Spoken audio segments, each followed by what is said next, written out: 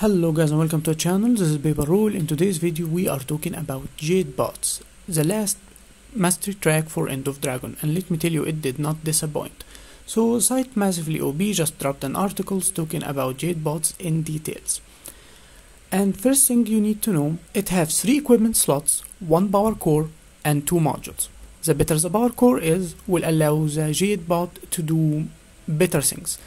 First, it increased player vitality, as they said here, which I'm not sure if that's gonna be a permanent thing. They'll like they literally making us more powerful in open world PvE or wherever the Jade bots will be used, and most likely it will be only in open world, not in instant content uh, like um, raids and stuff like that. And the modules will make you choose unique things that Jadebot can do. They said here that it will either speed your skiff or increase your mount's energy. And even increasing the skiff speed will maybe compensate for having no friends and running around with your boat by yourself, which is amazing. You can change between them at least whenever you want. And both power cores and module can be crafted, but we don't have any details on how this crafting gonna work yet. And there was no cosmetic option, so there is no customization for how the Jade bot look, but I think, and I agree with the article here, that it might have a customization appear later.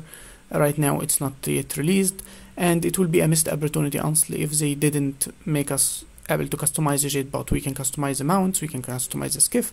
We should be really able to customize the Jadebots too.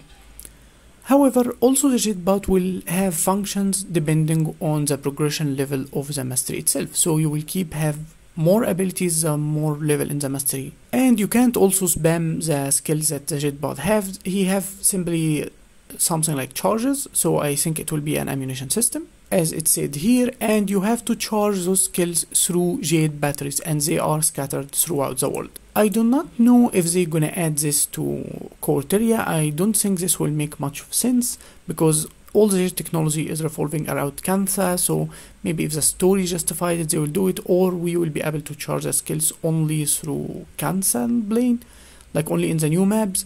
So um, there's no explanation to this part. Uh, so what we're gonna see, I guess we're gonna have to wait either they tell us in the stream, next stream's coming, or if we're gonna have to see for ourselves when the expansion is released. So the first mastery line will give you gliding booster. It's called gliding booster. That's actually its name, and it will allow you to do the things that you see in the um, trailer when you get to glide upward, like a little bit of a boost, like an updraft, which is a nice thing. So um, if you have a skyscale or a griffin you usually can mount up in the air and you end up uh, using it more than gliding if you're out of combat if you're not getting hit in the sky so you can't mount or something like that. So having access to more functionality and more mobility is still good even if you have the mount. At least that's what I think. The second mastery called multi-charge and it will increase the charges that it can carry as skills to 4 so you would be able to use the skills four times. The third one is called Jade Tech Waypoint and yes, exactly like you seen in the trailer, you can summon a waypoint. I was so confused watching that trailer honestly at this point. It was like it's literally a waypoint. Why it look the same? And I know a lot of people was confused probably like me. You can summon actually a waypoint that you can teleport to like any other waypoint in the world, but I don't know how long it's gonna be lasting or something like that. They did not uh, tell us much about this because this is insane if we can just keep summoning waypoints if it's like one and it's as long as we put it somewhere it will stay there until we change its location i think it's not really a big deal but it's really really amazing it's something i wanted in the game since i first played it years, many years ago, because I came from other MMOs that have this idea of setting up locations to get back to and even breaking the rules through methods like this, and Guild Wars never had it, so now we have it, I guess. And the fourth one called Energy Efficiency, and it will increase even the chargers more, so I guess we get to have five. Not only that, it allows it to gather two charges at once from batteries, so every time you use a battery, you would get only a single charge if you have this mastery if you leveled up to 5 you can carry 2 charges each time. And also will gather a charge while riding zipline it's like this new movement thing that you have seen in the city which they uh, describe it here as a new Jade bot powered point to point travel system. And the developers converted to jumping mushroom. And the last thing is the rescue protocol which allows the Jade bot to actually rescue and it work similar to how a ranger bit work.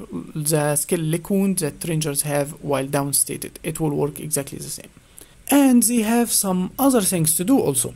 Jade bots have and they have also other things they can do. So you can walk up to a terminal across the city, something uh, like in Kaineng City.